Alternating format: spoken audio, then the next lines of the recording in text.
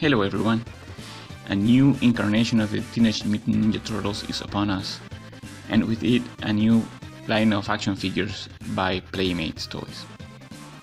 Let's take a quick look at the package. So this is the international card, and on the front, it seems to be identical to the one uh, from for the US release.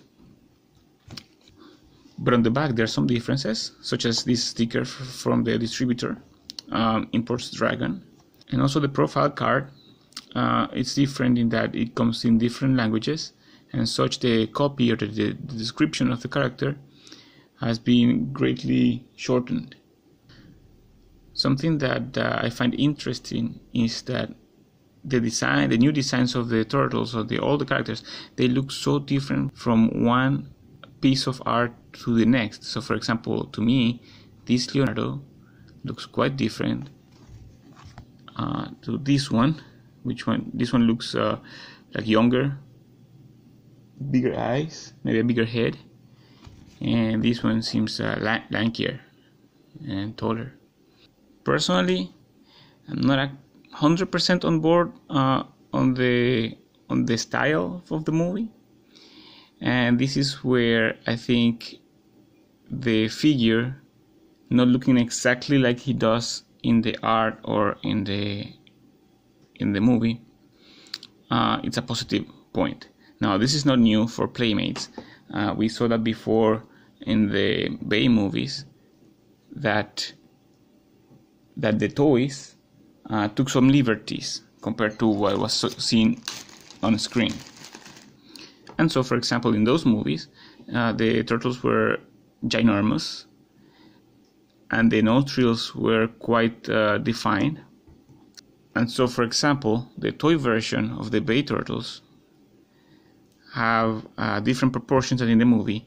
They have uh, bigger heads compared to their bodies, which make them look uh, smaller in frame and and height compared to the ones in the movie. When you put them alongside the human characters of the toy line, they are pretty much the same size, and, and such they don't look as huge as they did in the movie. The nostrils are all but disappeared in the toy. They are there, but uh, they are not as noticeable as in the movie. So uh, I think they the toys benefited from looking a bit different from the source material.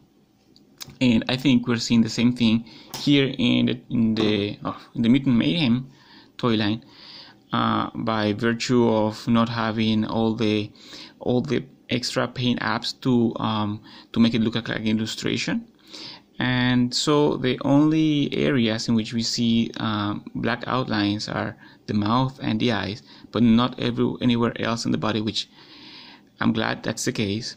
Also uh, in the case of leonardo he looks the closest to uh, um, a classic uh, ninja turtle right one thing that I quite like about the toys is that the sculpture is a bit rough in places, giving it a bit of a claymation look. So to me, this looked like a non-existent uh, stop motion uh, motion picture, something like Coraline, or maybe something like uh, from uh, Wes Anderson.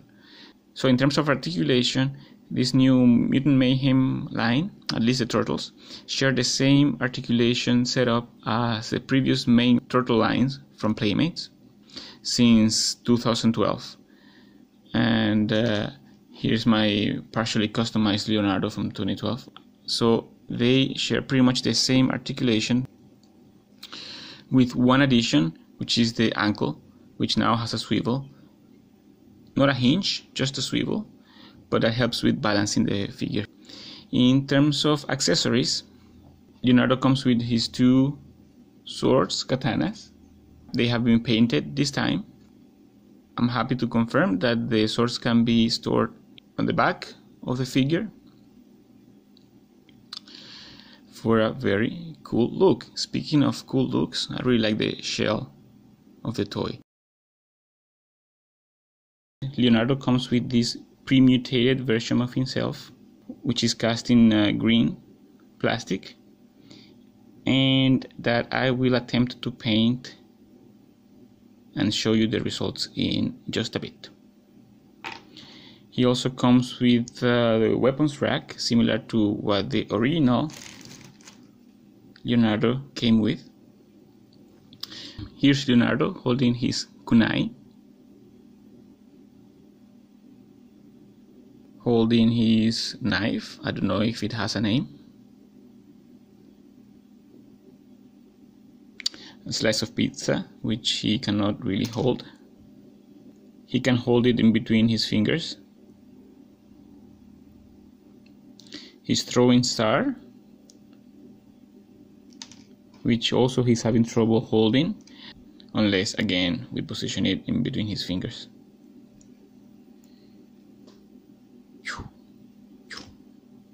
and the best of these accessories in my opinion which is the broken vial of ooze or mutagen.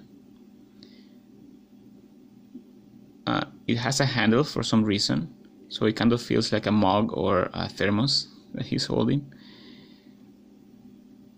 If you are wondering, he can hold the kunai uh, in his in his belt, uh, which might be by accident or by design. In any case, I like that. Here's Leonardo, fully armed, ready for battle. With some creativity, you can have Leonardo hold all his weapons at the same time. You can also use the frame of the weapons rack to display the weapons when not in use. Whoops. Okay, so here are the repainted weapons. Um, as I said, I really wanted to see the mutagen canister repainted, and that's what I did. Luckily, with the base color being silver, it means that there's no risk of the paint peeling off the areas uh, where the figure hold holds the accessory in this case the handle and here is the repainted slice of pizza. And here are the rest of the painted weapons